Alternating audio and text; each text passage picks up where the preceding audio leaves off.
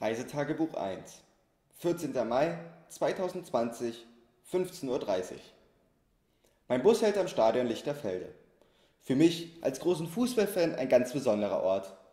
Denn das Stadion ist die Heimat vom Regionalligisten Viktoria Berlin, die im Jugendbereich übrigens der größte Verein Deutschlands sind. Aufgrund der aktuellen Lage darf hier allerdings schon seit Wochen kein reguläres Training mehr stattfinden. Ich schaue mich ein wenig um die 91 Jahre, die das Stadion mittlerweile auf dem Buckel hat, merkt man ihm nur teilweise an.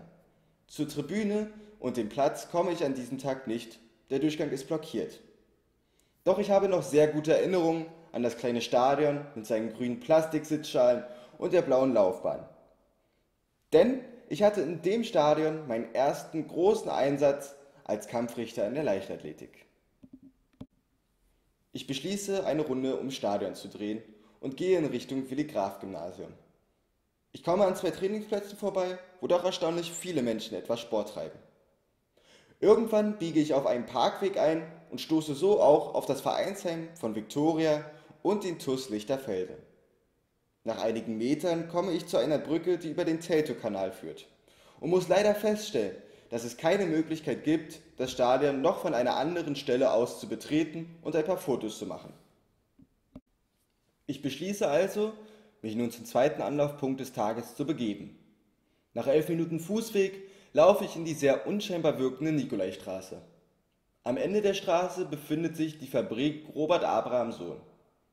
Gebaut wurde sie 1928 nach den Plänen des Berliner Architekten Martin Albrecht Punitzer. Namensgebend war die Messinstrumentefabrik Robert Abraham Sohn GmbH. Das Fabrikgebäude wird heute als Bürokomplex genutzt und ist hinter zwei Trauerweiden etwas versteckt. Doch allein die auffällige gelbe Farbe macht es unübersehbar. Die vielen großen Fenster und abgerundeten Kanten machen das Gebäude in der Nikolaistraße definitiv zu etwas Besonderem. Hier endete mein erster Ausflug zu den Städten der Moderne im Berliner Südwesten. Es wird aber definitiv nicht mein letzter gewesen sein.